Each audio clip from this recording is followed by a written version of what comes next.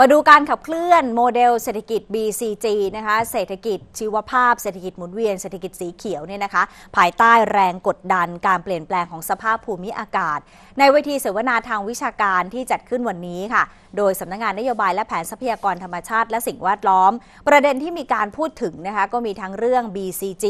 ช่วยเกษตรกรปรับตัวในภาวะโลกรวน จากตัวแทนวิสาหกิจชุมชน ด้วยการใช้ทรัพยากรอย่างคุ้มค่า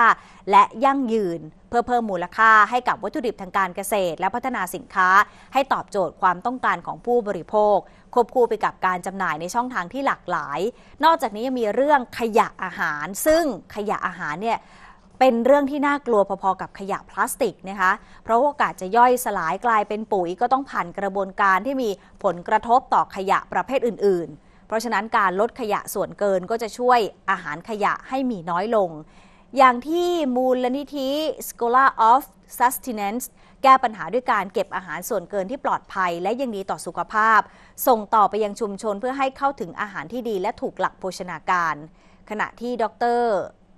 สรวณีสิงห์ทองผู้อำนวยการฝ่ายนโยบายเพื่อความยั่งยืนสำนักงงานสภานโยบายการอุดมศึกษา วิทยาศาสตร์วิจัย และนวัตกรรมแห่งชาติมองว่า